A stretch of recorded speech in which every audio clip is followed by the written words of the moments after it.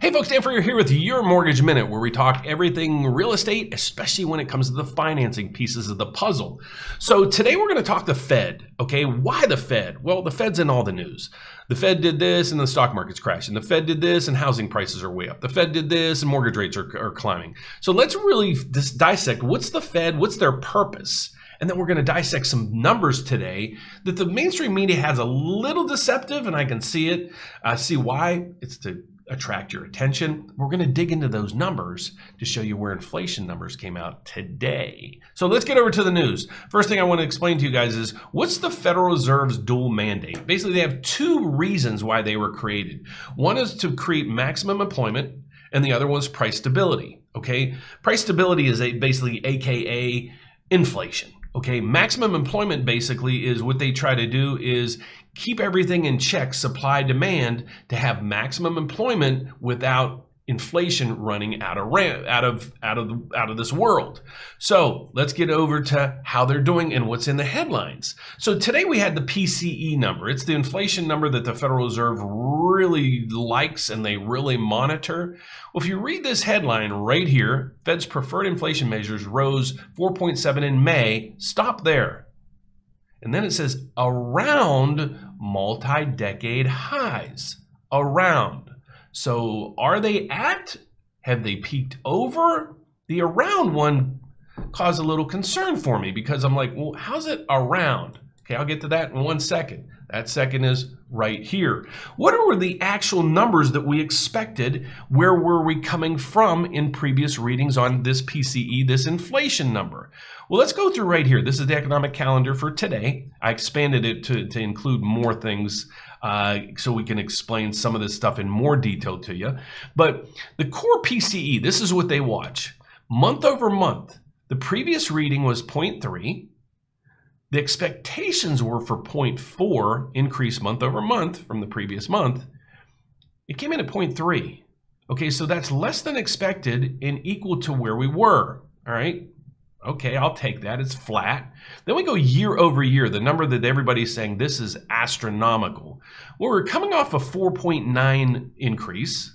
The expectations were 4.8, coming down. It came in at 4.7. So it came in lower than expected. So, how in the world did this headline, now the headline makes sense. Fed's preferred inflation measure rose 4.7 in May, around decade highs. Okay, so now I get that. What's causing a lot of this is the consumers, us. We keep buying and buying and buying. Okay, even with prices going up, we continue to buy. This is from the Federal Reserve personal consumption expenditure. This goes all the way out to basically zero, but let's tar- target into five. You can see right through here, this is the average. So if you go through here and you just run it up, it's not as bad as it looks. This is diabolical right through here. Well, what happened? Well, nobody was spending. What they were doing is saving their money. This is the uh, basically the uh, disposable personal income. How much money you have, uh, the consumer has in disposable income. How much extra income they have each month. When you go through here, look at this spike. Huge spikes that basically conform to this. Okay, so what was happening? Well, nobody was working, nobody was spending. So what are you doing? Sitting there saving your money. Well, now we're trying to play catch up. We have all this money, and it's like, oh, we need to just keep buying stuff. That's what's happening, and that's that's what's happened over the last six, eight months. But it's starting to cool down. So, on top of that, we have the Russian Ukraine situation that's driving up oil and driving up other prices, especially food prices, and a whole bunch of other things that just weren't baked into the cards. So, we're starting to see inflation starting to get moderate. The Federal Reserve already said the next meeting they're going to come in and they're going to raise rates another 75 basis points. So, that's also going to, the markets are comfortable with that. They're saying, okay, inflation's starting to come in check. The Federal Reserve has their ducks in a row. We know what's going on. So, you're starting to see the market stabilizing, other than the stock market. Uh, here's what we're seeing right now with the mortgage-backed securities market. So let's get on to that. the mortgage-backed securities market, why do I watch this? Well, this is a bond. Basically, think of this as a mortgage bond. It's trading on Wall Street. This is what's happening to the price. So the first thing you're going to say is, okay, well, what's this tell me? Well, it tells you as the price of the bond goes up, when the price of a bond goes up, it drives down the yield, meaning the more you pay for a bond, the lower the rate. or the rate or the yield or your mortgage rate. Let me explain it this way. And I do this probably once a month. We have a bond, this mortgage backed security bond. And in a year, the coupon value of that bond is $100. Okay, so in 100 in in next year when I turn in my coupon to you, you're going to give me 100 bucks back. Okay? So let's start out at a high price. Okay? So the price of that bond is 100 bucks. I give you 100 bucks today. So then a year from now, you give me my $100 back because that's the coupon of that bond. What was my rate of return? What was my yield? Zero because I gave you 100 and you gave me 100 back. Okay. So now let's drive down the price so I can make this point clear. So now I give you $50 for that bond. Okay. A year from now, I give you my coupon and you give me $100 back. What's my yield? 100%. I doubled my money. So do you see how the yield goes up when the price comes down? Okay, so that's how all this works, and that's why we watch this. So as this come, this is coming down, mortgage rates are getting a little bit better. Also, you can see the trend of the day is positive down in this range here. It's because we're having good news, but the mainstream media isn't representing it that way. Then we go over to mortgage rates. This is a mortgage rate sheet by Mortgage News Daily. It's not me. It's not any particular bank. It's just a, a it's it's an easy way for me to explain to you guys what's going on with the rates.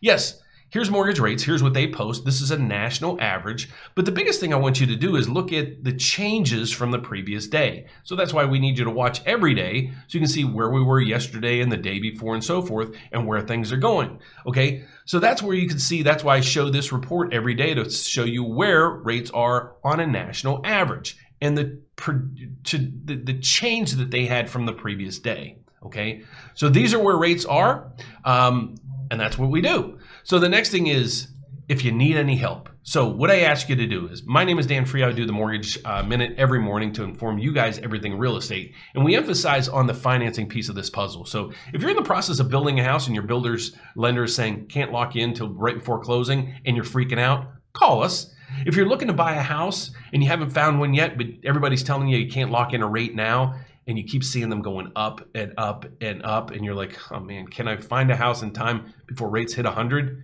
Call us. We can lock you in, get you pre approved today, and lock you in. If you're looking for a reverse mortgage, debt consolidation, anything of that sort, please reach out to us. We'd love to help. All our information is above. We are my net, my team now is federally chartered, meaning we can help anybody in the United States also Puerto Rico. So we'd love to hear from you. So thanks for watching. Don't forget to join us tonight at 7 p.m. Central Standard Time, my live event. We're going to talk with a realtor, uh, Summer. She's out in Boise, Idaho, and we're going to talk to her about how's the Boise market going. But before we have her on, we're going to talk economics, the housing market, and I'm going to answer any questions that you have. So look forward to seeing you at 7 o'clock tonight. God bless. Have a great day.